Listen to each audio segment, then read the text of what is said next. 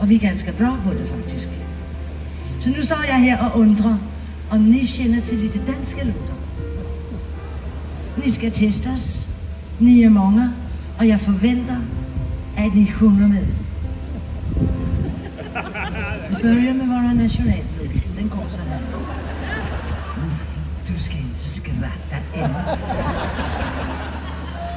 Der er et yndigt. De står med brede byer nær salten østre strand.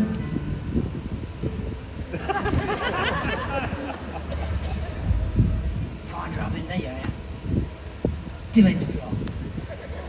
Okay, vi søger et andet trick.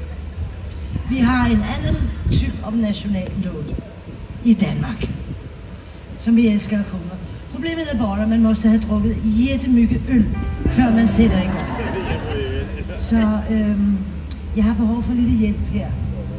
Øhm, Måns, eftersom Lena har givet dig så mycket undervisning, og du er blevet så bra på bogen, har du ikke lyst til at komme her med din smækre krop?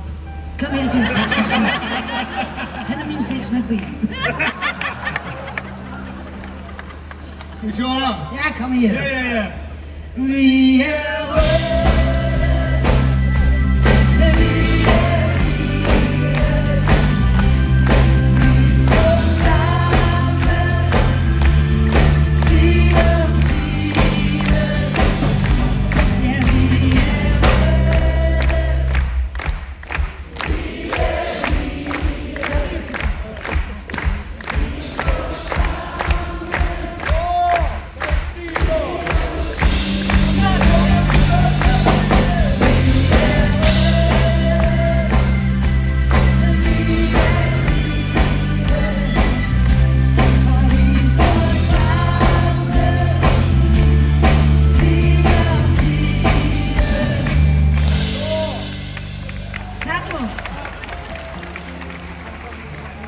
har vi også de to brødrene Olsen, som vandt det store internationale Melodi Grand Prix med den her låten. Flyer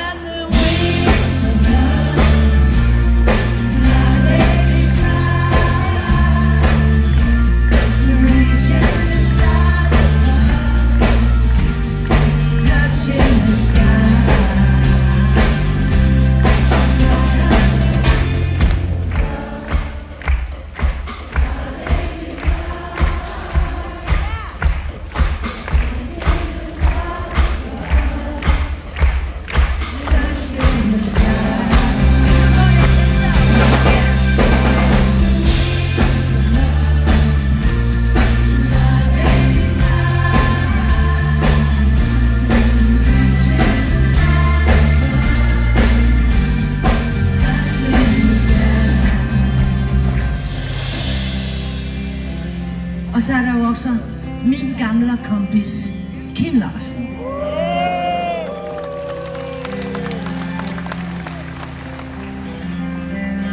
Jeg kom til verden på femte sag.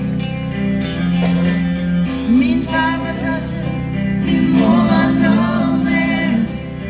Men da de kørte